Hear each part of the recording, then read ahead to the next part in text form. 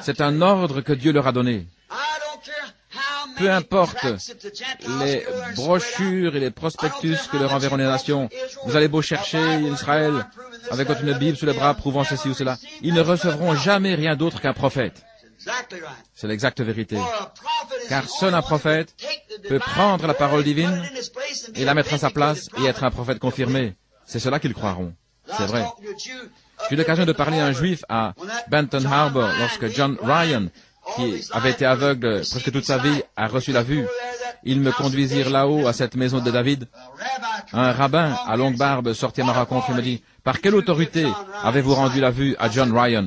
Et j'ai dit, au nom de Jésus-Christ, le Fils de Dieu. Il m'a répondu, loin de moi la pensée que Dieu est un Fils.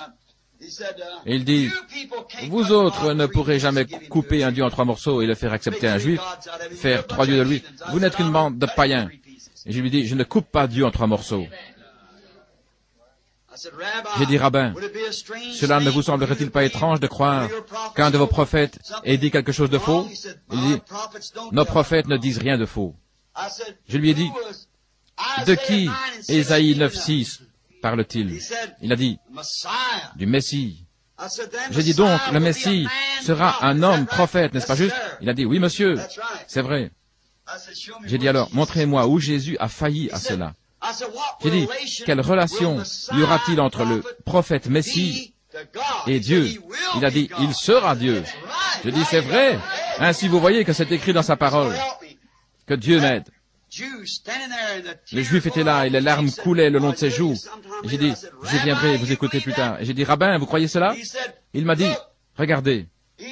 Il a dit, Dieu est capable de ces pierres de susciter les enfants à Abraham. Je savais qu'il était dans le Nouveau Testament. J'ai dit, c'est juste, rabbin, maintenant, qu'allez-vous faire?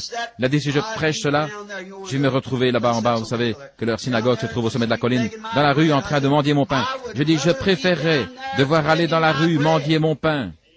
Ce juif était encore attaché à l'argent, vous comprenez Son nom écrit en lettres d'or.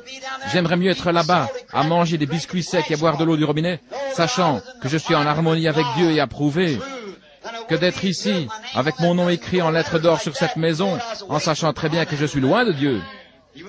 Il ne voulait plus m'écouter. Il est rentré, voilà tout. Vous ne pouvez pas couper Dieu en deux ou trois morceaux appelés Père, Fils et Saint-Esprit et faire de cela trois dieux et donner ça à un juif. Son commandement même est, tu n'auras pas d'autre Dieu devant ma face. Je suis le Seigneur ton Dieu. Qu'est-ce que Jésus a dit? Jésus a dit, écoute, ô Israël, je suis le Seigneur ton Dieu, un Dieu. Pas trois, vous ne pourrez jamais donner cela.